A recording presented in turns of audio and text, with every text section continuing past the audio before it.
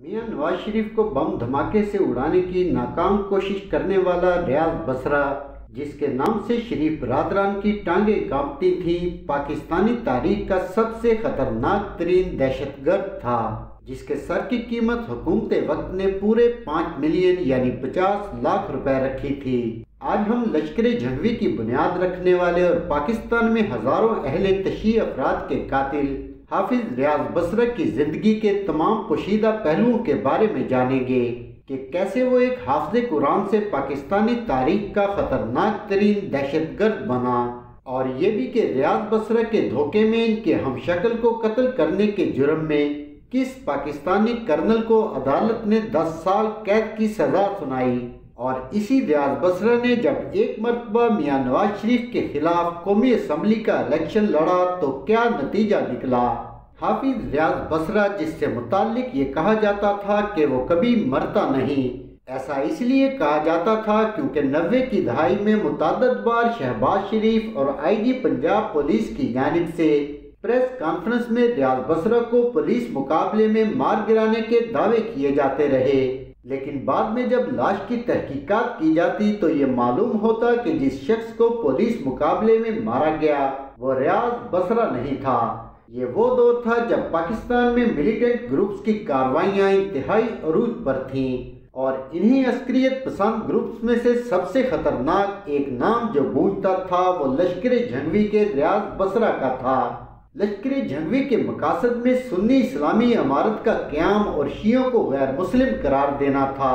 ये उन दिनों की बात है जब मजहबी फिरका परस्ती की आड़ में किसी को भी काफिर करार देकर कत्ल करना बड़ी आम सी बात थी। और इसी मजहबी फिरका परस्ती के जुनून में रियाज बसरा ने 1990 में लाहौर जेल रोड पर वाक़ खाना फरहान के डायरेक्टर और ईरानी सफारतकार आकाए सादिक गंजी को कत्ल कर दिया। जिसके बाद से टेरर की दुनिया में रियाज बसरा का नाम ऐसा मकबूल हुआ कि इसके नाम की पर्चियाँ चलने लगीं। रियाज बसरा पर शिया रहनुमा सैयद सिकंदर शाह के कत्ल के अलावा शिया कब्रस्तान में एक इज्तमा पर मोहलक हमले में डॉक्टरों, पुलिस एहलकारों और वकला समेत सैकड़ों शियों के कत्ल में मुलवस होने के अलावा कई बैंक डकैतियों और भत्ताखोरी के भी इल्ज़ाम थे। रियाज बसरा को उन्नीस सौ बानवे में न सिर्फ़ पंजाब पुलिस ने गिरफ़्तार कर लिया था, बल्कि साल उन्नीस सौ चौरानवे में अदालत की जानब से इसे ईरानी सफीर आकय सादिक गंजी को कत्ल करने के जुर्म में सजाए मौत भी सुनाई गई थी, लेकिन वो सबको चकमा देकर अहाता अदालत से फरार हो गया। इससे पहले कि हम रियाज बसरा की तरफ़ से मियाँ नवाज़ शरीफ पर होने वाले कातलाना हमले की रुदात बयान करें पहले जरा इसके माजी में झाँक कर देखते हैं कि एक ऐसा शख्स जो साइकिल पर लाहौर के रहायशियों के घरों में जाकर बच्चों को कुरान पढ़ाया करता था। पाकिस्तान का सबसे खतरनाक और मोस्ट वांटेड दहशतगर्द कैसे बना? रियाज बसरा उन्नीस सौ सड़सठ में सरगोदा के कस्बा झावरिया के करीबी गाँव में पैदा हुआ। इसके वालिद का नाम अता मोहम्मद था, जो कि एक मामूली किसान थे। जबकि इसकी वालदा का नाम जलाल बीबी था। रियाज बसरा ने इब्तदाई तालीम सरगोदा और लाहौर के दीनी मदारत से हासिल की। इसके घर वाले इसे प्यार से लालू कहा करते थे। साल 1985 में जब पंजाब के जिला झंग की एक छोटी सी मस्जिद में अंजुमन सिपाही सहाबा की बुनियाद रखी गई तो जल्द ही हाफिज रियाज बसरा ने मौलाना हक नवाज़ झंगवी की सिपा सहाबा में शमूलियत इख्तियार कर ली। रियाज बसरा ने अपनी जवानी के कई साल अफगान जिहाद में गुजारे। वो रूसी फौज के खिलाफ बरसरे पेकार मुजाहिदीन के ग्रुप में शामिल रहा और इसी जंग में रियाज बसरा की टांग पर गोली भी लगी। रियाज बसरा की माँ ने अपनी एक गुफ्तगु में ये बताया था कि मेरा बेटा घर से हाफज कुरान बनने निकला था। वो हाफज कुरान तो बन गया, लेकिन फिर वो कभी दोबारा घर नहीं लौटा। हमारे घर जब भी आई, पुलिस ही आई। लेकिन मेरा बेटा लालू नहीं आया। रियाज बसरा के बारे में ये बात शायद कोई ना जानता हो कि एक ज़माने में उन्होंने कौमी असम्बली का इलेक्शन भी लड़ा था। रियाज बसरा ने ये इंतखब 1990 के जनरल इलेक्शन में लाहौर के हल्का एन ए पचपन से लड़ा था। इस इलेक्शन में इस्लामी जमहूरी इतिहाद आई जे आई की जानब से मियाँ नवाज़ शरीफ उम्मीदवार थे। जबकि रियाज बसरा ने नवाज़ शरीफ के खिलाफ आज़ाद हैसियत से इलेक्शन लड़ा, जिसमें इसे सिर्फ़ दो सौ उनतीस वोट ही मिल सके। इसी साल रियाज बसरा को सिपा सहाबा तंजीम का मरकजी सेक्रेटरी इतलात बना दिया गया। उन्नीस सौ छियानवे में सिपा सहाबा तंजीम के अंदर इख्तलाफात रूनुमा होने लगे तो रियाज बसरा ने अक्रम लाहौरी, मलक इसहाक और सैयद गुलाम रसूल के साथ मिलकर अपनी शिया मुखालिफ तंजीम लश्कर झंगवी की बुनियाद रखी। ये लश्कर झंगवी पाकिस्तानी तारीख की सबसे ज़्यादा खतरनाक तंजीम साबित हुई, जिसने अपने हर एक दुश्मन को चुन चुन कर निशाना बनाना शुरू किया। रियाज बसरा ने अपनी तंजीम का नाम सिपा साहबा के मकबूल बानी, हक नवाज़ झंगवी के नाम पर रखा, जो कि 23 फरवरी 1990 को एक नामालूम हमलावर के हाथों बम धमाके में हलाक हुए थे। रियाज बसरत से मुतालिक एक बात बड़ी आम है, वो ये कि वो अक्सर औकात शरीफ बरदरान को फ़ोन कॉल पर चैलेंज किया करता था। रियाज बसरा ने एक बार वज़ीर अजम नवाज़ शरीफ से ये शर्त लगाई कि मैं कल तुमसे आकर रूबरू मिलूँगा और तुम्हें इसकी खबर तक ना होगी, और फिर ऐसा ही हुआ। रियाज बसरा ने खुली कचहरी में नवाज़ शरीफ से मुलाकात की और बाद मियाँ साहब को फ़ोन पर इतला दी कि मैं आज फला टाइम पर तुमसे मिला था और तुम मुझे पहचान भी ना सके। ऐसे ही एक मौके पर रियाज बसरा ने नवाज़ शरीफ को मुखातिब करते हुए ये कहा था कि नवाज़ शरीफ मेरे कारकुन इतफाक फाउंड्री के मुलाजिम नहीं, कि तू इनको भट्टियों में जला देगा और कोई नहीं पूछेगा।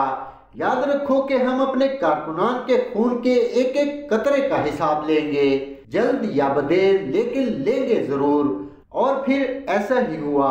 रियाज बसरा ने एक रोज मियाँ नवाज़ शरीफ को बम से उड़ाने की धमकी दी और इससे चंद रोज बाद जब प्राइम मिनिस्टर लाहौर से रायवेंट जा रहे थे तो रास्ते में एक पुल के नीचे बम नस्ब था। अभी नवाज़ शरीफ का काफिला गुजरे चंद सेकंड ही गुजरे थे कि खौफनाक धमाके से सारा इलाका लर्ज उठा। खुशकिस्मती ने मियाँ नवाज़ शरीफ का साथ दिया और वो बाल बाल बच गए।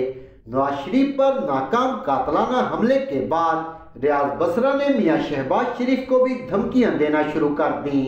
तब रियाज बसरा ड्रोने ख्वाब की तरह शहबाज शरीफ और पुलिस वालों के असाब पर सवार था। और रियाज बसरा की दहशत पूरे पंजाब पर कायम हो चुकी थी, जिसका अंदाज़ा आप यूँ लगा लें कि नवाज़ शरीफ और शहबाज शरीफ ने खुली कचहरियों में बैठना छोड़ दिया था।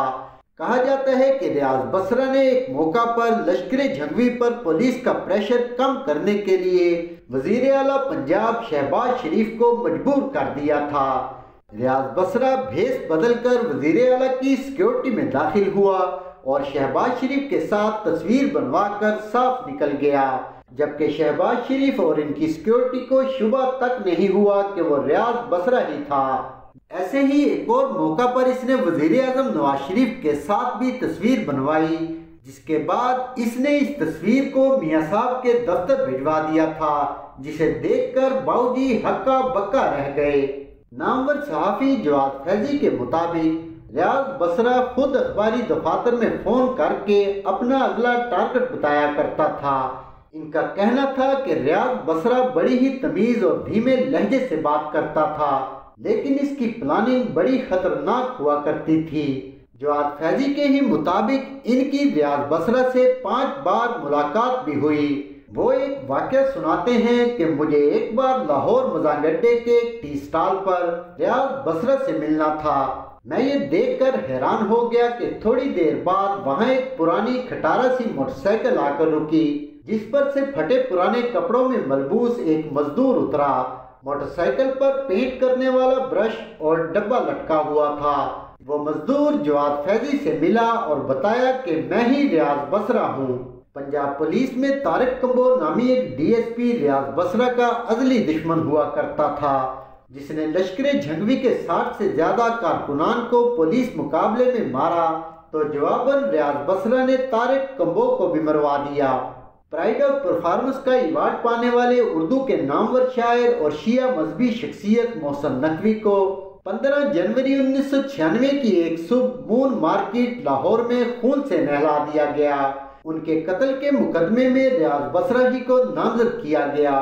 पोस्टमार्टम के मुताबिक मोहसन नकवी के जिसम में 45 गोलियाँ लगी थीं। याद रहे कि मोहसन नकवी सबक वज़ीर अजम मोहतरमा बेनज़ीर भुट्टो के मशीर भी रहे थे। रियाज बसरा की कार्रवाइयों से तंग आकर हुकूमत पंजाब ने इसे खतरनाक मुजरमों की लिस्ट में डाला हुआ था, जिसके सर की कीमत उस जमाने में पाँच मिलियन यानी पचास लाख रुपए रखी गई थी। वज़ीर अला पंजाब मियाँ शहबाज शरीफ के पहले दौरे हुकूमत में colonel retired Khurshid Afridi CID Punjab के सरबराह थे। कर्नल साहब ने ट्रैप सेट किया और रियाज बसरा को पाँच लाख रुपए चंदा देने का लालच देकर उससे मिलने का प्लान बनाया। कर्नल खुर्शीद आफरीदी ने खुद को दुबई की एक कारोबारी शख्सियत के तौर पर ज़ाहिर किया हुआ था। लिहाजा लश्कर जंगवी के कारकुन ने रियाज बसरा के साथ कर्नल साहब की सरगोदा में एक मीटिंग फिक्स कर दी। कर्नल साहब जब मुकर्र जगह पर पहुँचे तो इनकी रियाज बसरा से मुलाकात करवाई गई। सीआईडी के पास मौजूद खाकों के हिसाब से कर्नल साहब को जब ये यकीन हो गया कि ये रियाज बसरा ही है तो फ़ौरन उस पर हमलावर हुए और उसे कत्ल कर दिया। अगले रोज तमाम पाकिस्तानी अखबारों ने यह खबर लगाई कि कर्नल रिटायर्ड खुर्शीद आफरीदी ने रियाज बसरा को मार डाला। लेकिन जब लाश की शनाख्त के लिए रियाज बसरा की वालदा को बुलाया गया तो उसने वाजे तौर पर यह कह दिया कि मरने वाला मेरा बेटा नहीं। तहकीकात करने पर यह बात आश्कार हुई कि वाकई जो शख्स मारा गया था, वो रियाज बसरा नहीं था, बल्कि इसका साथी शहजाद वड़ाई था। किस्सा कुछ यूँ था कि कर्नल खुर्शीद आफरीदी से मिलने के लिए रियाज बसरा ने अपने एक हमशक्ल शहजाद वड़ाइच नामी कारकुन को भेजा था। शहजाद वड़ाइच की शक्ल और डील डोल रियाज बसरा से शदीद मुशाबत रखता था। यही वजह थी कि कर्नल खुर्शीद धोखा खा गए। यूँ शहजाद वड़ाइक के लवाकिन ने कर्नल साहब के खिलाफ मुकदमा दर्ज करवा दिया। कर्नल साहब ने अदालत में बयान दिया कि वो रियाज बसरा को पकड़ने गए थे। शहजाद वड़ाइक इनका टारगेट बिल्कुल भी नहीं था। ये हादसा एक गलत फहमी की वजह से हुआ। ताहम अदालत ने इस मुकदमे में सीआईडी के सरबराह, कर्नल रिटायर्ड खुर्शीद खान आफरीदी को 10 साल कैद व मुशक्कत की सजा सुना दी और वो जेल चले गए। बाद में उन्होंने बहुत मिन्नत समाजत के साथ शहजाद वड़ाइट के लवाकिन से दैयत की एक बड़ी रकम के इवज सुलह की और जेल से रिहाई हासिल करने में कामयाब हो गए। लश्कर झंगवी का सरबरा रियाज बसरा सैकड़ों नहीं, बल्कि हज़ारों शियों को एलानिया कत्ल कर चुका था। यही वजह थी कि लश्कर झंगवी की क्यादत पर दर्जनों मुकदमात कायम थे। ये वो दौर था जब सरगोदा भलवाल में कोई भी कत्ल होता था तो एफआईआर में पहला नाम रियाज बसरा का ही लिखवाया जाता था। फिर हुआ यूँ कि परवेज मुशर्रफ के मिलिट्री टेक ऑफ़ के बाद लश्कर झंगवी दो धड़ों में बट गई। रियाज बसरा का ग्रुप अपनी कार्रवाइयाँ जारी रखने के हक में था, जबकि कारी अब्दुल हई का मौकफ था कि हमें अंडरग्राउंड हो जाना चाहिए। जनवरी 2002 में रियाज बसरा के ही हुक्म पर अमरीकी सहाफ़ी डैनियल पल को पहले अगवा और फिर कत्ल कर दिया गया, और फिर वही हुआ जो अमेरिका बहादुर से पंगा लेने के बाद होता है। 14 मई 2002 के रोज रियाज बसरा को बिहाड़ी के एक शिया गाँव, कोट चौधरी शेर मोहम्मद गलवी डिकोटा में मुबैना पुलिस मुकाबले के दौरान उस वक्त मार दिया गया, जब वो एक बड़े शिया जमींदार को कत्ल करने के लिए वहाँ घात लगाए बैठा था। रियाज बसरा की मौत के बाद तरह तरह की चैमगोइयाँ और शको शुबात का इजहार होता रहा। क्योंकि सरगोदा पुलिस ने पहले भी उन्नीस सौ निन्यानवे में रियाज बसरा को मारने का दावा किया था। न सिर्फ़ ये, बल्कि पंजाब पुलिस इससे पहले भी छह बार रियाज बसरा को मारने का दावा कर चुकी थी, लेकिन वो हर बार किसी भूत की तरह दोबारा ज़िंदा हो जाता था। मुखसिर ये कि पुलिस मुकाबले में रियाज बसरा के साथ उसके तीन साथी भी मारे गए। रियाज बसरा की मौत के हवाले से ये भी कहा जाता है कि पुलिस इसे पकड़ने में नाकाम हो चुकी थी। लिहाजा शिया जंगजुओं ने पुलिस की नाकामी के बाद मामला अपने हाथ में लेते हुए रियाज बसरा और इसके तीन साथियों को मार गिराया था, जिसके बाद पुलिस ने लाशों को अपनी तहवील में ले लिया। तहकीकात मुकम्मल होने के बाद रियाज बसरा को इनके आबाई गाँव में लश्कर जंगवी के झंडे में लिपेट कर सुपुर्द खाक कर दिया गया। रियाज बसरा के जनाजे में कमोबेश बीस हज़ार अफराद ने शिरकत की थी। बावजूद इसके कि एसपी पुलिस ने लश्कर झंगवी के कारकुनों समेत हज़ारों दीगर अफराद को रियाज बसरा के जनाजे में शिरकत करने से रोक दिया था। रियाज बसरा को कत्ल करने वाले पुलिस अफसर के बारे में बताया जाता है कि इसे सरकारी खर्चे पर बीवी बच्चों समेत बैरून मुल्क भिजवा दिया गया ताकि इनकी जानें महफूज रहें। रियाज बसरा के बाद लश्करी झंगवी की क्यादत मलक इसहाक के पास आ गई। मलक इसहाक वो शख्स था जिसने अक्टूबर उन्नीस सौ सतानवे में ये बयान दिया था कि वो 102 शिया और दूसरे कई अफराद को कत्ल कर चुका है। यहाँ एक अफसोसनाक सवाल ये उठता है कि आखिर सिक्योरिटी इदारों के होते हुए मुल्क खुदादाद पाकिस्तान में ये अस्क्रियत पसंद जमातें परवान कैसे चढ़ती हैं? कमेंट में अपना फीडबैक देने के साथ वीडियो को लाइक और चैनल को सब्सक्राइब करते हुए बेल आइकॉन पर क्लिक कर दें। फिर मिलेंगे एक और इन्फॉर्मेटिव वीडियो के साथ। अल्लाह हाफिज़।